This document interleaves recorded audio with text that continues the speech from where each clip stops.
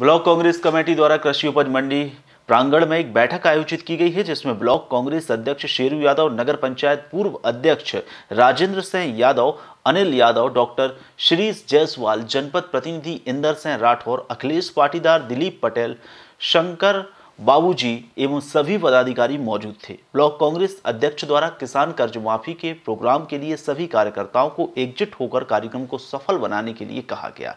तो वहीं इस दौरान कृषि मंत्री सचिन यादव के कार्यक्रम के बारे में भी जानकारी दी गई।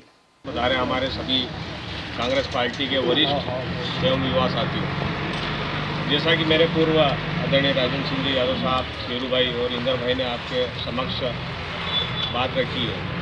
आप सभी लोगों को मैं बहुत धन्यवाद दूँगा कि जो पहला कार्यक्रम, हमारा पहला चरण का था, उसमें सब आपके सहयोग से हमने ज़िले में बहुत शानदार तरीके से हमारा कार्यक्रम आपके सहयोग से आयोजित हुआ था।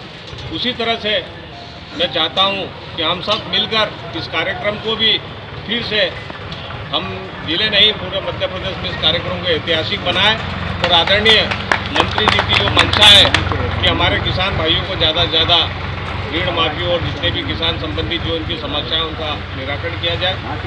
मेरा अभी जैसे वहाँ जनपद सभा में भी जब सभी बैंकर्स की बैठक थी उसमें सभी सेवा सहकारी संस्था के प्रबंधक और शाखा प्रबंधक लोगों को ये बताया गया कि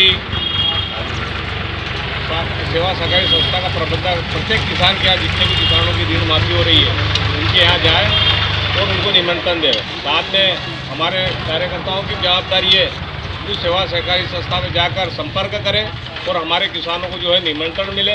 साथ ही यदि किसी प्रकार से त्रुटि वक्त कोई हमारे किसान भाई का नाम छूटा हो तो अभी भी जो है अट्ठाईस, उनतीस, तीस तक जो है पोर्टल चालू है।